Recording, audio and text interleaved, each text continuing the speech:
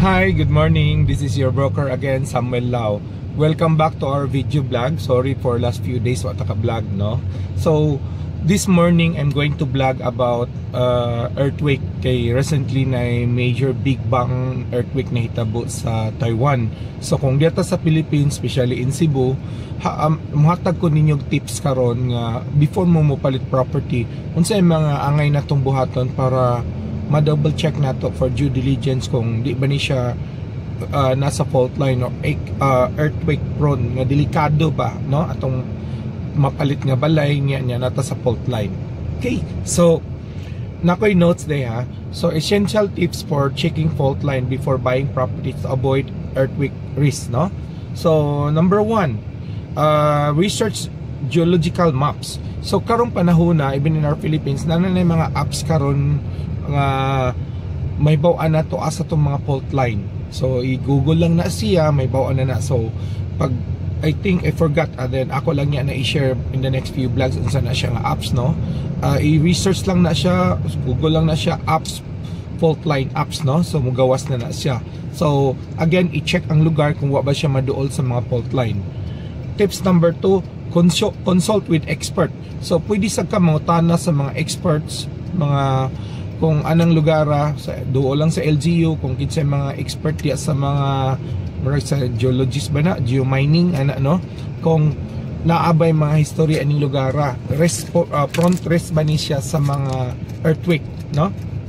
Number 3 physical inspection. So before tapalit property, ato sa gid inspection bisitahon na to kay just by doing physical inspection like for example na ako'y naadto nga farm, ibong ko katong farm pag drone shot na mo, na naagid siya physical visible gyud kay siya nga murag nay dalan nga murag murag taas kay nga line nga murag na na, na nahimong 3 meters ang diferensya So ingon sila krik agi-agi kuno sa tubig pero kung agi sa tubig kay bawo man sa antay agi sa tubig no? Kay muram gud siya ni buak nga lalom kayo so nahimo siya another murag creek or an, lalom no? But the difference lang mo tikang kaspikas mga 3 meters 2 to 3 meters. So nya taas siya kaayo. So lihok yun to siya sa yuta. Or na yuta diri ana niyang pikas diri imbis alayin siya hugno siya kalit. Nan ni hugno man siya kalit so nay movement ana. So phys ang uban pod ana physical obvious kay na. So bantayanan ana to.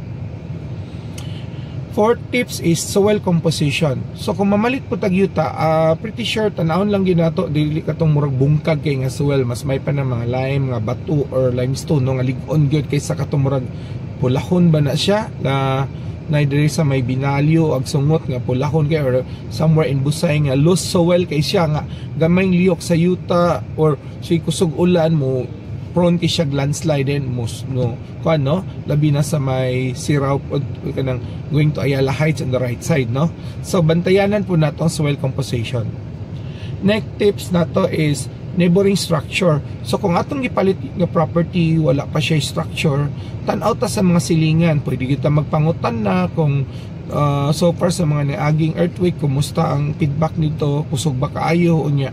Tan-aw na to na by crack or kung natay napalit ka building, tan-aw na to na by mga crack no or pwede na mi gibuhat sa una nagpalit mig building nag-hire me og civil engineer to do audit on the structural sa building ligon ila gibuhat study balik no another tips is building codes and regulation.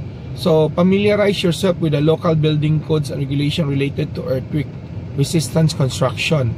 Properties built according to seismic design. Labi na mo palit tag condominium. So magpangutan na ta o intensity unsa na siya nga capable mo hold. Kay kibaw na beta kakaron nagkakusog dili na lang 6 7 na na recently 7.5 so how strong ilahang kaya mo hold no? So pwede kita mangutanag mga civil engineer mangutana ta sa mga sa before ta mo palit magpangutan na kita. Unsay ilahang ka unsay term ana ano nga kakusgon sa earthquake nga mo sustain siya. Another tips is to protect worst scenario to protect your investment is insurance consideration. So don't forget to insure our investment properties. Para worst scenario there's an earthquake uh, water damage fire etc act of God mabalik ang atong investment maproteksyonan ato ah. so always insured. I-insured man nato ato ang sakyanan why not atong properties pod no? So another tips is community awareness engage with your local community to gather insight about this mga history, mga lang hitabo din ha.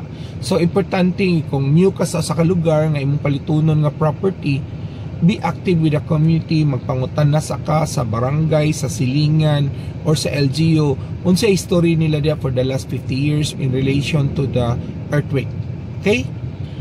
Lastly is so mo lang sa ato atong tips for this day. Tip, uh, ang buhat ta malikanin mo uh, especially karon earthquake prone ta labi na Pilipinas no? Makafeel ta permi og uyog. Uh, look forward makahatag tong advice ninyo. Again if you want more information uh, I'm just a phone call away. So again this is your broker Samuel Lau. If you'd like this information please kindly share to some of your friends. And please kindly subscribe for future real estate tips and ideas. Good morning and good more earnings everyone